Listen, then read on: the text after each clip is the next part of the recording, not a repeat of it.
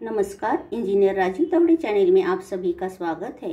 आज हम राजमा मसाला बनाएँगे। इसके लिए मैंने राजमा को साफ़ करके आठ घंटे के लिए पानी में भिगो के रखा था।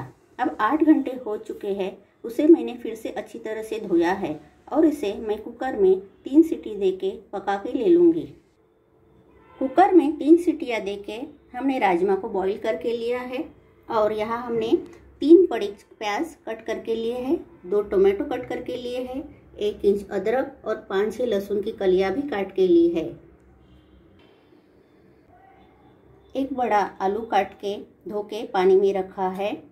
यहाँ हमने मसाले में काश्मीरी लाल पाउडर ली है, मिर्च पाउडर, लाल मिर्च पाउडर ली है और संडे स्पेशल मसाला लिया है, एक एक चम्मच से कम और किचन किंग मसाला डेढ़ चम्मच लिया है। गरम मसाले में हमने छः काली मिर्च ली है, दो लौंग ली है, साबुत धनिया लिया है थोड़ा सा सौंफ ली है और थोड़ी सी दालचीनी ली है। और स्वादानुसार हम नमक भी लेंगे। बर्तन में हमने छः टेबलस्पून तेल गरम करने रखा है। इसमें हम कटा हुआ प्याज डालेंगे।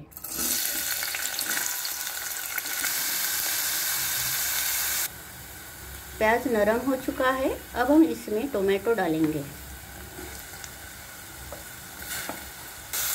अच्छी तरह से मिक्स भी करेंगे।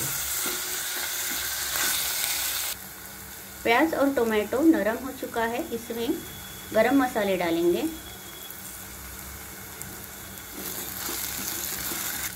अदरक और लहसुन भी डालेंगे।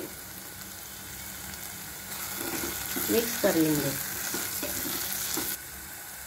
दस मिनट हो चुके हैं, अब हम गैस बंद करेंगे और इस प्याज और टोमेटो को मिक्सर में अच्छी तरह से पीस लेंगे।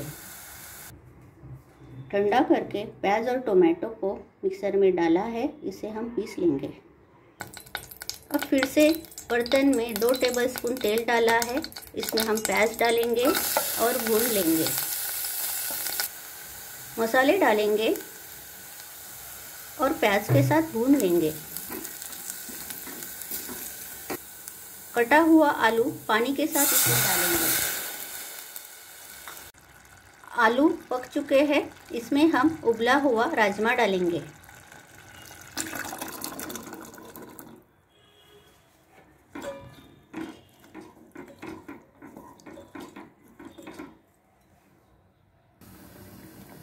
पिसा हुआ टोमेटो और प्याज का मिश्रण भी डालेंगे।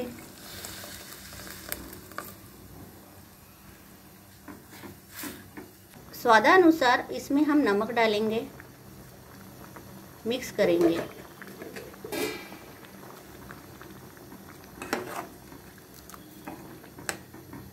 और पाँच मिनट पकने देंगे। पाँच मिनट हो चुके हैं। हमारा राजमा तैयार हो चुका है। अब हम गैस बंद करेंगे।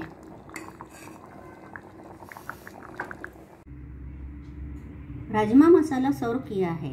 अगर हमारा वीडियो पसंद आया हो तो लाइक कीजिए, शेयर कीजिए। हमारे चैनल को सब्सक्राइब कीजिए। वीडियो देखने के लिए धन्यवाद।